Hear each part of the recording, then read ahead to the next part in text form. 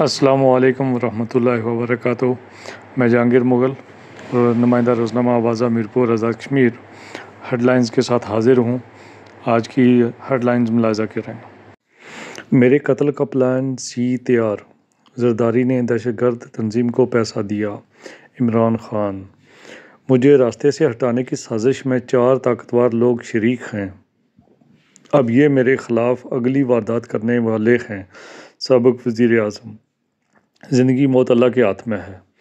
Sweden में कुरान मजीद की बेहरमती मुल्क भर में योम एहतजाज शहर शहर रैलियाँ मुजाहरे सैनट में मजमती करारदाद मंजूर, सख्त कानूनी कार्रवाई का मतालबा।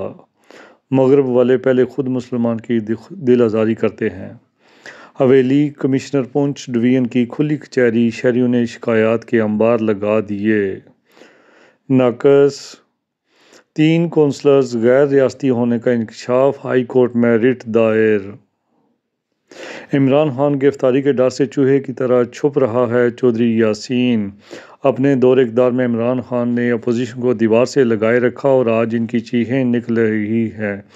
अब तो इन पर अभी तो इन पर हाथ ही नहीं डाला गया। मीरपुर शहर में पेट्रोलियम मसनूआत की मसनू किल्लत, पेट्रोल पम्प्स पर लंबी लंबी कतारें। पेट्रोल एजेंसियों पर पेट्रोल और डीजल ब्लैक में फ़रोख्त होने की शिकायत। इमरान खान को नायल जान से मारने की मनसूबाबंदी की जा रही है, शेख रशीद।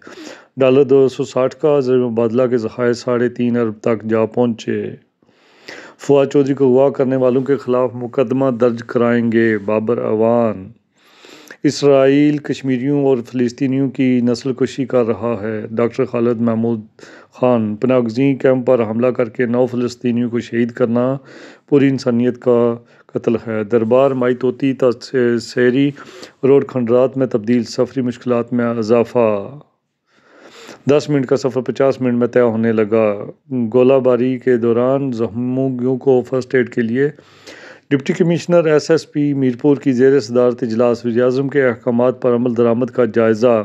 मंगला एंट्री पॉइंट पर अस्सी फुट ऊँचे पाकिस्तान और कश्मीर के कौमी परचम लहराने के पोल नस्ब करने का काम भी शुरू है।